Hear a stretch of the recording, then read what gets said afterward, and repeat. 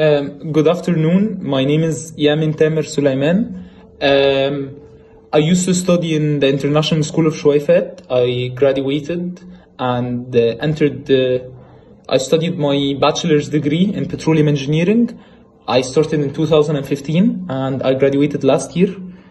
I studied petroleum engineering and uh, when I graduated, I got a full-time offer in the oil and gas industry in a Norwegian company called IKM Group.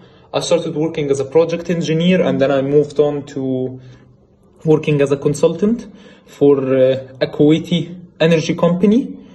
And uh, from an academic point of view, I believe that knowledge is the most important thing. So even though I have my job right now and everything, but I always believe that it is better to know more, to learn more, and to educate yourself with more.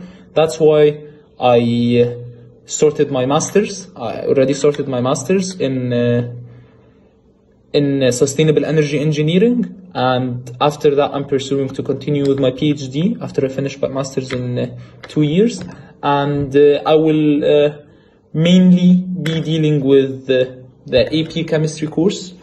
Just because I have uh, extensive background about chemistry in general, petroleum engineering is uh, is an engineering sector that focuses a lot on mechanics and chemistry and more chemistry because you're dealing with oil, you're dealing with gas, and that's why I I feel like I was lucky to be in University of Aberdeen because they taught me a lot of chemistry related stuff. And also during my high school, I took chemistry since I was in grade eight, and I got enrolled in the AP exam, and uh, fortunately I scored a five. Uh, I know that a lot of people think that the chemistry exam is hard, but in fact it's pretty simple. It just needs a systematic way of thinking and extensive amount of knowledge. So hopefully, if uh, any of my students see that, I just want you to know that throughout the AP chemistry course, I will make sure that you acquire enough amount of knowledge that will help you to pass the exam and not only pass, get a good grade, mainly we're aiming for a 5, nothing less than a 5 out of 5. And then I want you to learn the course in a way that makes you remember these topics and concepts because you will definitely use it in uh, the university. And I'm pretty sure that having a, a fruitful grasp of this knowledge will help you to get a good grade and to have a less stressful uh, studying time during the university. Thank you so much, and we hopefully speak soon. Thank you. So, today we're going to be discussing chapter one. Uh, the first three chapters in general, they are uh, pretty much basic and they include simple information, but they're really important to consider so that you don't do small errors in the later stages. And these errors, if you do them, you might really struggle and you might find that you're getting a wrong result or uh, understanding some theories in the wrong way. So to start off with this uh, course, it is really important to understand something, which is what is the point of having chemistry as a course in our life? So basically, the answer of it is that chemistry involves a mix of mathematics, physics, and and how materials and objects are related together and understanding how bigger objects are made of smaller substances can help us in identifying a lot of things. So to explain that in a simpler way, the best way for you to understand what is chemistry, you can think about what is matter. So a matter in general, it can be a phone, it can be a piece of wood, it can be a piece of iron, it can be whatever, it can be even my hand. My hand is considered as a matter. So in terms of chemistry, what is matter? Matter consists of smaller building units. Back in the days, scientists used to believe that it is consisting of atoms, but they never seen an atom. So all of these speculations, uh, by the way, so, to, like I said, scientists always believed that matter consists of smaller building units, and these units so for example, if we draw an object like that, and let's call this unit, that's a piece of wood. So for the past couple of centuries, even since the beginning of humanity, scientists always believed that it's made of smaller components. And then they said, okay, what are these smaller components? And they came up with the, the reference or the statement which is called atom. So atom basically is the smallest building unit of anything that exists on this planet. Even, even yourself, even air, even anything that you can imagine is always consisting of atoms. So technically, this piece of wood, the smaller building units, if I keep on going smaller and smaller and smaller, they add up to create this macroscopic object. And what, what I mean by macroscopic is something that you can see. Um, but in the past, like what, 60, 50 years, they were able to actually see what the atom looks like. And then they started to say, okay, these atoms, we need to understand it more in order to create a correlation between the bigger matter behavior and how the smaller atom behavior. So, for example, let's go back to this piece of wood. This piece of wood, if you try and connect it with a copper wire and a light bulb, it will never emit light. So if I try and do like this and get a light bulb like that, it will never, there will be no light. And then you will ask yourself, why it doesn't emit light? The typical answer that we know is that it's a bad conductor of electricity. But what's the reasoning behind that? The reasoning behind that is related to how the atoms behave. You know what I mean? So that's why we need to correlate macroscopic properties, which is the big stuff that we see, with the microscopic properties, which is the small stuff. And it's really important to know how to correlate between them and understand that the microscopic world is way much more complicated than the macroscopic world. So throughout the next uh, chapters, you will find yourselves dealing with microscopic properties and finding a bigger result. So always understand this uh, concept because this is basically what the AP chemistry is uh, revolving around. So right now, a better representation of seeing the correlation between a macroscopic object and a microscopic object is water. So water basically, it's something that it's needed based on daily life. For us, we have to survive on water. Basically, our 60% of our body is made of water. So if you break down water to a microscopic perspective, water is H2O. So H2O itself, as it's seen here, I will draw right now for you so you guys can see. So the H2O itself, that's a molecule. A molecule is basically a group of atoms combining together and creating another microscopic body. Why is it microscopic? Because we can, we still we cannot see it. So that's why it's still microscopic. So the H2O as a molecule consists of even two smaller entities or atoms, which are hydrogen and oxygen. The reason why water is, in most of our life cases, we see it because you have trillions of trillions of trillions of molecules combining and forming this shape for you. And in terms of how it looks like on a molecular level, it looks like that. The oxygen atom is bigger. As you know from the periodic table, the mass unit of oxygen is bigger, so that's why it has bigger size. And the hydrogen is actually the smallest uh, element in the periodic table. That's why it's small. And they're connected together via something called covalent bonds that we're, we're going to discuss in the later chapters. How we can represent this example in a chemical formula or in a chemical oriented way, you write a chemical formula for it or a chemical reaction. So hydrogen added to oxygen gives you the H2O and the reason why there is two here and two here is because you have to balance the chemical formula and this topic we're going to discuss it later on in the later stages so don't worry about that so right now after we understood chemistry in a really simple way we need to understand that chemistry contributes a lot to solving any real life problem any real life problem that you face will always have a chemical reason whether uh, someone is sick whether uh, in, in an engineering operation uh, something is not working Uh, you cannot uh, add, for example, when you're building a certain building, uh, your cement is not strong. There is a chemical reason. So always put in mind that the way of thinking that I want you guys to follow, it's actually applicable in every single scenario that you might that you might face, and especially in your work life or your university life. So how following certain like uh, steps in chemistry can help you tackle problems is explained below. So the first thing is that when you see a problem, you have to read it really well, observe it, and then know your inputs and collect them. And then after that, start and visualize an explanation for this problem. So for example, uh, let's take that in, in a really, really simple way.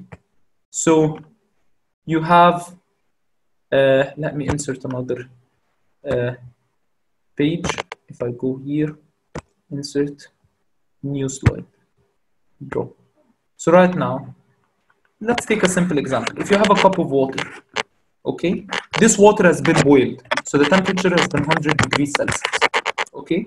And then you leave it out for a bit in your kitchen, and then you come back a little bit and you find it not cold anymore. So for example, after 10 hours, it will go back to room temperature, which is 22 degrees. That's a really simple idea, but it's uh, an example for a problem on how to tackle it from a chemistry point of view. So you look at the- problem, which is why this cup of water after 10 hours goes down to room temperature. And then you ask yourself, okay, so what happened?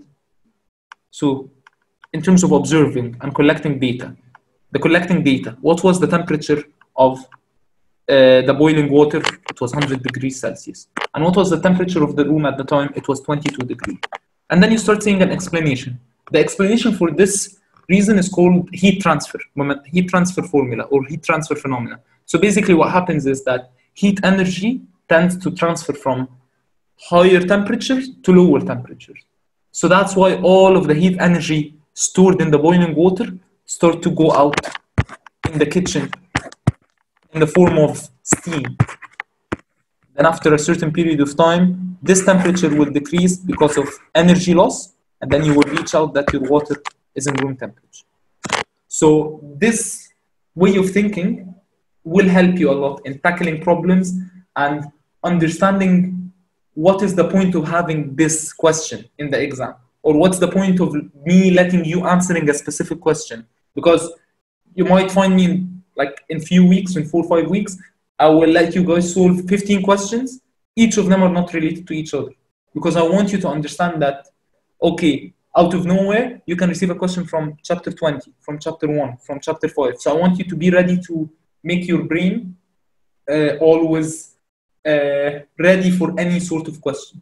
So that's why i started with this example which is really something that you guys didn't take till now. Just to give give you heads up on what sort of topics that we're going to be discussing so moving back to the second point which is tackling problems the way of tackling problems from a scientific perspective is usually labeled with some terms and statements and it's really important for us to know. So the way of processing or thinking about any problem in chemistry is called a scientific method. A scientific method as you can see in this section it starts with an observation. You observe something you observe this cup of water you see it's boiling and then you say oh there is steam coming out of it. What does that mean? And then you create a hypothesis. Your hypothesis is that when this cup of water releases steam when it's boiled that means that the temperature is decreasing. And then you tell yourself why is that happening? So you start to experiment your hypothesis. So when you ask yourself why is that happening your first reasoning like logical reasoning will be okay. Maybe because the temperature of the water is higher than the temperature of the kitchen. So that's your hypothesis. To make this an actual evidence you have to experiment. So what you're going to do now in terms of experiment you will take this cup of water take a thermometer and measure the temperature of the cup of water. Then you will find out it's 100 degrees celsius. After two hours measure it again. You find for example 80 degrees celsius after 10 hours 22 so 22 is normally the kitchen room pressure, uh, temperature, sorry. And then at this point, you start asking yourself, okay, so why it stopped at 22 degrees Celsius? Then you tell yourself because the room temperature of the kitchen is 22. So once you find out that the room temperature of the kitchen is 22, then you have a result. This result is proven. So in that case, you come up with a theory or a law. This theory or law that I'm talking about is the heat transfer phenomenon. To support your theory and always make sure it covers a lot of situation, you have to predict certain behavior of different examples. So for example, you uh, put your water in, uh, in, a, in, in, in, a, in a sauna where the temperature is 80 degrees, and then you see if it will drop from 100 to 80 you assume different scenarios and then you experiment it and see because you never know. One of your experiments might have an error therefore you need to fix your theory again. Okay? So moving on from how to think in a scientific way put in mind that the first two sections i'm just talking to you about chemistry in general. I don't want you to memorize this but i want you always to follow a systematic order when you tackle chemistry related questions. So moving in into chemistry or the actual curriculum, it's really important to make sure that we follow certain units of measurements. Because throughout this course, all of your targets will be mainly what? Finding a result. Find the energy of this, find the temperature of that. You'll also receive some theory where you have to write paragraphs and stuff like that, but in general, we're focused on numbers. So when you solve a question, and I'm as a teacher reviewing this question, the most thing, the most important thing for me is to look at a number, which is the final result. But this number needs to have a measurement because you cannot just write for me, for example, uh, 70. I will be like, what's 70? Is it 70 kilograms? If it is, is it 70 mass? Is it 70 time? Is it 70 years? You need to label it for me. And nowadays we have a lot of measuring units. So in this course, we're gonna be restricted or following the SI system. The SI system, which is international system, has been introduced in France in 1960.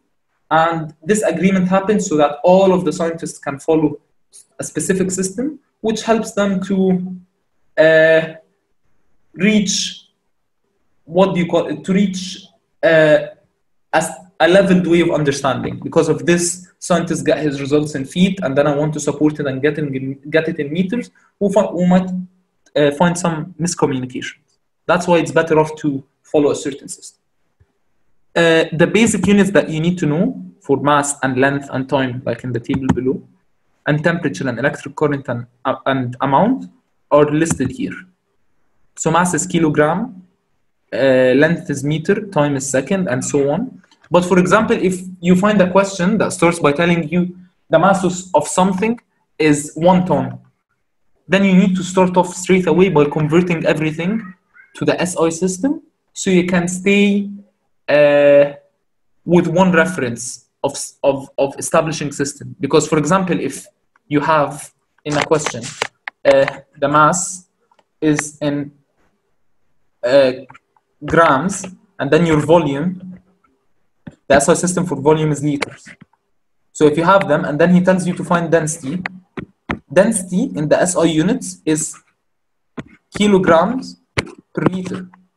So if you have grams, and you put here grams per liter, this is this is not wrong at all. This is right. But the thing is that the SI system establishment is like that. So the reader or, or, or the viewer, when he sees your number or your result multiplied by 1000, they will think like, oh, there is something wrong here. So you need to follow one main system so that you can make sure that you're not doing errors and that your answer is clear for everyone. Moving on, like this example, for example. One liter is 1000 milliliter is 1000 centimeter cube. Understanding that this is your SI unit will help you, will help you to calculate further equations in the same system order and to convert. Because like I told you, if he tries to if he tries to trick you in a question and tell you, okay, you have your volume in 1000 centimeter cube, then straight away you will know that 1000 centimeter cube is a liter. And another thing that you need to really co comprehend in the beginning of this course is that mass and weight are completely different. A lot of people tell you that uh, in the units of measurements, mass and weight are the same. No. Mass is the extent of resistance of an object due to the state of motion. So for example, probably all of you guys have your phones next to you. So if you get this phone on your table and start to push it, you're pushing a mass. Your hand is feeling this mass because it's resisting its original position. Its original position was on the left of the table. You start pushing it to the right, and there you go, you feel your mass. But the weight, the weight is the force that the gravity exerts on this object due to the mass. So if this phone is one kilogram, for example, that's a heavy phone, by the way. It's it's not one kilogram, but let's say it's one kilogram. You know it's one kilogram, and then you want to know the weight. So the weight will be how much gravity is exerted on this uh, phone so that it can lay on the table. Because if I lift my phone up and I leave it, it will fall on the table. So why does it fall? It's because its gravity is pulling it towards the table. Therefore, your weight is the one kilogram and you multiply it by what? By g. And I guess all of us know g, it's gravitational acceleration. It is 9.8, but you can approximate it to 10 uh, meters per second square. So it's really important for you guys to understand the difference between weight and mass. Another thing that you guys need to include in your measurements, because sometimes you will face like uh, a question that tells you to find a group of, to find, for example, uh, a volume. But then you find yourself that you're finding it several times, five, six times. And you want to know which answer is the best answer. So you have to make sure that your results are accurate and precise at the same time. What I mean by accurate is that it refers to the agreement of a value with a true value. So for example, if your answer or the you're doing an experiment and you're trying to find the volume, the, the perfect figure or the perfect answer is 7. So if your answer, let's assume that this is 7. If your answer is 1, 2, 3, 4, then your answer is not accurate, it's not close to 7, and it's not precise because the 3 and the 1 and the 2 and the 4 are not really uh, similar numbers to each other. So for example, if, if it's 1, 1.1, 0.9, 1.3, I would say that these group of numbers are precise because they're revolving around a certain integer, which is what? 1. But again, it's not accurate because it's not the set. So we want to make sure that our results, for example, if the answer that, that the perfect answer is 7, I want to make sure that what that in, in the first experiment it's like 7.1, in the second experiment 7, and then maybe it will be satisfactory if I find 6.9 and 7.2. Let's put here 7.2. So if you combine all of them and make it as, a, as an average, you'll find yourself getting a similar result to 7, like 7.1. So that's why we need to make sure that our uh, results are accurate and precise. To be honest, we will not face the issue of finding the same output several times and averaging them, except in experimental labs. So if you guys in school have it, have a have a lot of lab sessions, then in that case you need you need to make sure that your results are accurate and precise. But in our case, or in this course, in the exam, you'll be mainly dealing with uh, an input of data and you need to find one output. So you'll do that calculation once, or you will find some uh, input first and then use this input to find the result. But you will never, uh, you'll never find yourself, or it's rare, to find yourself getting the same answer five, six times on average. So don't worry about that. And one more important thing that you need to put in mind is significant figures. Significant figures is basically uh, if the question tells you the mass of something, so mass of something is 10 to the power of 3. You need to understand, and then he comes and tell you the density, the density is, for example, 1. And then he tells you find the volume. We all know that density, let's open, and then let's open another slide just to make sure that my writing is clear. So the density, so as we said, the density is 1000. And the mass is, like I said, 10 to the power of 3. No, the density is 1, sorry. And the mass is 10 to the power of 3. Okay? You need first to understand the significant figures. This is actually, I know that what I'm explaining now is really easy and really simple and everyone knows it. But later on, when you're facing a complicated question uh, with 15 inputs, you might forget that it says 10 to the power of 3. You might say, oh, it's 10. So just make sure 10 to the power of 3 is uh, 1000. So therefore, if he tells you find the volume, you know that density is equal to mass over volume. Therefore, volume is equal to mass over density. And there you go. You have your volume, which is 1000 liter. Let's say if you forgot that this exists, your answer would have been 10. If you like how 10 to the power of 3 is actually looking, so just make sure that you convert 1 to 10 to the power of 0. Therefore, if you divide 10 to the power of 3 to 10 to the power of 0, these powers are subtracted. So become 10 as it is. You leave the powers as they are, and 3 minus 0, which is 1000. So just make sure that you understand the significant figures and the decimal places as well. Uh, decimal places are important when you round up and they tell you find the uh, the the accuracy. So for example, you find your result, um, the volume that you have is 3.9 to 1. If you round it up to 3.9, therefore you looked at the second decimal place. If the second decimal place is less than a 5, then the 9 stays as it is. If it's more than a 5, then you go and look at this. If you see the 9 more than a 5, then it becomes 4. But let's just say you stuck with the second decimal place and you find it's less than a 5, so it's 3.9. So if he tells you, for example, the, the perfect figure that the questionnaire expected is a volume of 4. So what is your percentage of accuracy? You will subtract 3.921 minus 4. No, you subtract the, the theoretical first. 4 minus 3.921 over 4. This result, which is 0. Point, we do on the calculator, we will find it 4 divided by 3.921. So it's 1.02 over 4, which is, and then you multiply by 100 to change into percentage. So then you will have around, let's put it here, you will have around 25.50%. Okay, so if if you had already not rounded it up, then your result will be 25.5% of error.